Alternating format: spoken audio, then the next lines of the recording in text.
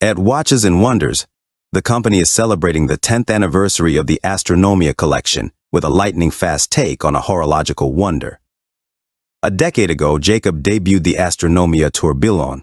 The model was marked by a unique dial display with a domed sapphire crystal revealing an architectural movement with an otherworldly system. Since then, the Astronomia collection has retained its roots through numerous iterations with themes including skulls, casino games, The Godfather, and many others. Now, on the 10th anniversary of this wild collection, the watchmaker's technical prowess is on full display with an all-new caliber in the Astronomia Regulateur. The regulator is one of the most classic complications in watchmaking, notable for its unusual separate display of the hours, minutes, and seconds in three different locations on the dial. As the name suggests, regulators are historically known for their accuracy and were used by other watchmakers to regulate their work. For its latest addition to the Astronomia collection, the brand provides a revolutionized interpretation of the regulator in a way that's distinctly Jacob.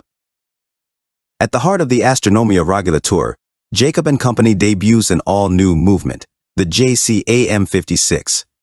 This exceptional caliber spurs from the brand's years of work in the realm of rotating vertical tourbillon movements. We've seen this work on display in the Astronomia collection, with a movement built like a carousel, featuring several satellites revolving around a central axis as well as rotating on their own axis, with each arm bearing a complication. The rotation speed of that central axis was initially set at 20 minutes. Then, in 2023, Jacob and Company released the Astronomia Revolution, whose rotation speed accelerated to just 60 seconds, setting the movement into a wild horological dance. Now, the new caliber JCAM56 builds on the technology of the JCAMB found in the Astronomia Revolution, offering the same impressive 60-second rotation. Here, you have three arms. One is a flying tourbillon, itself making one rotation per minute, and the other two arms are dedicated to the time display, if those time-telling dials were fixed, they would be unreadable most of the time, but the Astronomia Regulateur uses a differential system to keep those dials vertically aligned for easy reading.